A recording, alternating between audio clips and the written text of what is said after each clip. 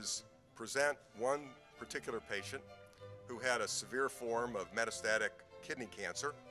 And I used LDN initially, and then I used some other therapies to treat this woman who had an extremely grim prognosis. The patient was Claudia. Claudia was 52 years old, and she presented uh, to her local doctor with uh, many years of pain in her groin. Uh, she lived in a small town on the western slope of Colorado and did not have health insurance, so she was unable to be adequately diagnosed. She wanted to get a CAT scan to see what was going on.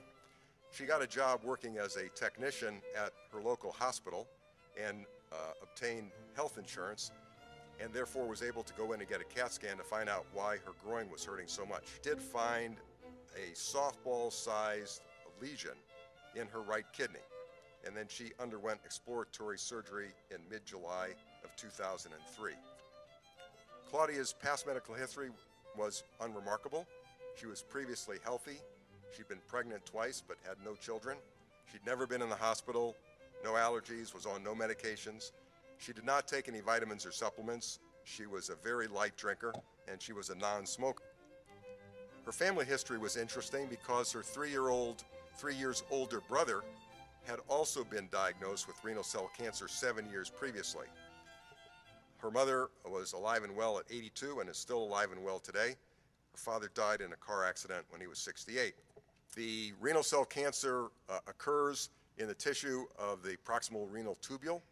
It occurs both sporadic and hereditary form. Since uh, Claudia's brother had it, she probably had the hereditary form. Renal cell cancer, even though it, it's uh, only 3% of cancers, it's the sixth leading cause of cancer deaths. In particular, uh, Claudia was stage four, where the disease has spread and has distant metastases, and the five-year survival for that is very poor, only 11%. Claudia had the most common, the clear cell type of renal cell cancer. When patients present, the classic triad uh, for diagnosis of renal cell cancer is the combination of blood in the urine, hematuria, particularly painless hematuria.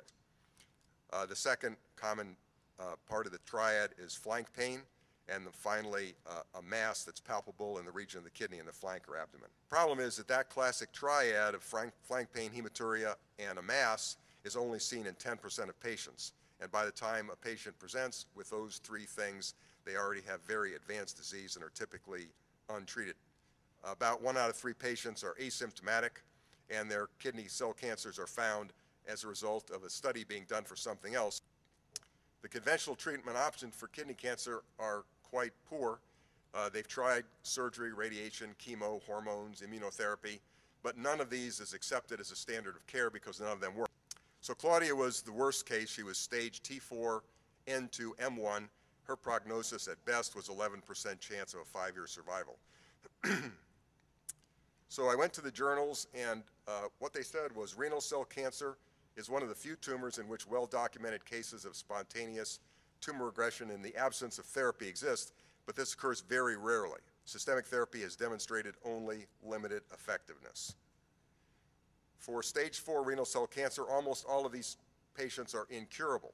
There's minimal evidence that nephrectomy induces regression of distant mets. Hence, nephrectomy in the hope that it will be followed by spontaneous regression of metastases is not advised. And she underwent surgery on 715. She had a right radical nephrectomy where they removed her kidney, adrenal glands, and lymph nodes from that side. It was a 12 centimeter lesion, which is a large uh, baseball sized lesion. The pathology was renal cell cancer, and they told her, There is no cure, you're going to die. From the chest, it says there's been interval development compared to the previous chest CAT scan of two and possibly three pulmonary nodules. The impression is intramural development of bilateral pulmonary nodules and mediastinal lymphadenopathy, worrisome for malignancy, including metastatic renal cell cancer. In the abdomen, the bottom of the page, circled, it says soft tissue nodule in the upper left abdomen, worrisome for mesenteric lymph node, which has increased in size from the previous exam. So three weeks later, in February of 04, she began treatment with me. I did several of the things that Dr. Berkson recommends for cancer. Uh, I agree that uh, cancer cells are very peculiar in that their metabolism is such that they can eat only one food. Cancer cells are unable to metabolize fats or proteins, and they can only eat sugar. The first thing we did was put her on a low sugar, no sugar, low glycemic uh, diet. She ate 85% of her diet organic. Uh, she lived on the western slope where she had uh, elk meat available to her. She ate organic beef and chicken, uh, lots of vegetables, and fluids were restricted to water and, and green tea. We put her on some supplements. Uh, we, we weren't terribly aggressive with her. We put her on a lot of vitamin C to bowel tolerance. That's as much as she could take without getting diarrhea. We put her on a multiple vitamin and mineral. Uh, we put her on fish oil, EPA DHA, two grams of fatty acids twice a day. Uh, graviola, which is an herb that has anti-cancer properties, and uh, pancreatic enzymes called Wobenzym, which helps to digest protein and can open up uh, certain types of cancers so the immune system can get to them. So uh, Claudia was my first LDN patient. Uh, because Claudia didn't have a lot of money, what we did is I simply wrote her a prescription for 100 milligram capsules of naltrexone. I told her to dissolve one capsule in about three ounces of water, 100 milliliters of water, keep it in a, a glass jar in a refrigerator, and take one teaspoon, which is about three milligrams every night.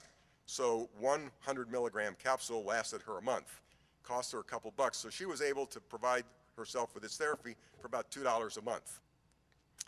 Uh, her second metastatic workup was uh, done after she went on the diet and the supplements for eight weeks and the LDN. So eight weeks into the program, follow-up chest CAT scan showed that the right lower lobe nodule was slightly increased, the left upper lobe nodule was slightly smaller, and the precarinal lymph node was slightly smaller.